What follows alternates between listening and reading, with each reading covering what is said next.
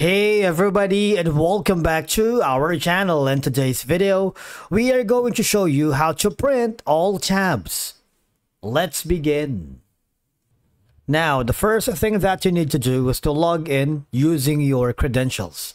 If this is your first time in Adobe Acrobat, I want you to click the sign up option. And from here, just follow the on-screen instructions and you're good to go. Adobe Acrobat doesn't have a direct feature to print all open tabs at once, but you can achieve this by combining the open PDFs into a single file and then printing.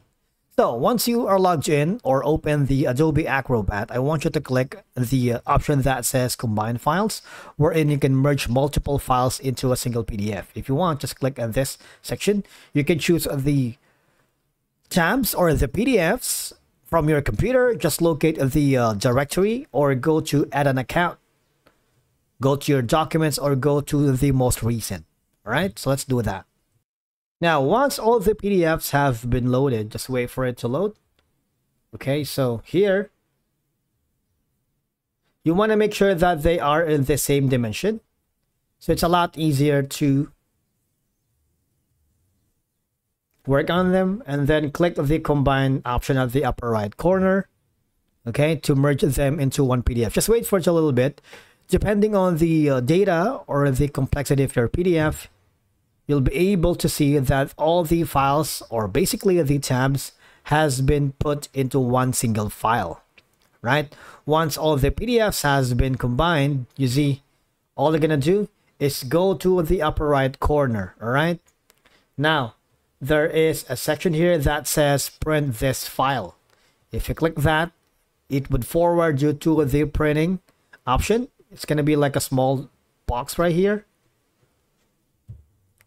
You have the option here for the destination. Is it going to be Microsoft Print to PDF, Save as PDF, or See More? All right, so you have all these. Let's click on Cancel.